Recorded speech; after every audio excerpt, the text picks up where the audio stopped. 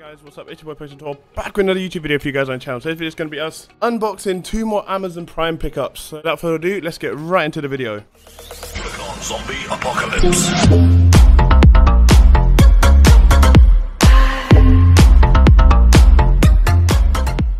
Right then guys, two boxes. We have got two more Funko Pops. Gonna unbox right now. Basically, one of them's a Trish Stratus and the other one should be an Elias. They were both on promo because obviously you guys know it was or it is Amazon Prime Day today. So yeah, I managed to get them on promo yesterday or the day before. So yeah, I got them at a good price. I think I paid six euros uh, for the Trish and I paid just under 10 or just above 10 for the Elias. So I'll unbox them now and I'll show you them off on the camera in a second. Right then guys, we've got the first one here which is Elias as you guys can see with the guitar. I thought that was very very cool. The fact that they had him with the guitar as well.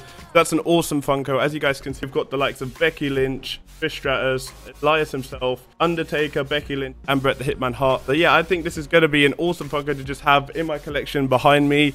And uh, yeah, so that's uh, number one. Right then, guys, number two is, of course, the Trish Stratus, as I mentioned, number 66, which is an awesome, again, another awesome pop figurine to just have in the collection. Like I said, number 60 at the back again, you've got obviously Becky Lynch, Trish, Elias, Bret, um, Undertaker, and Becky Lynch. So obviously, like I said, I really like these Funkos. I'm collecting them like hella at the moment. Trying to fill up a collection that is super, super cool.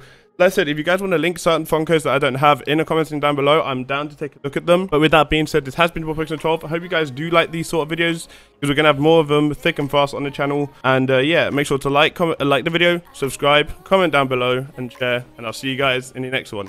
Peace.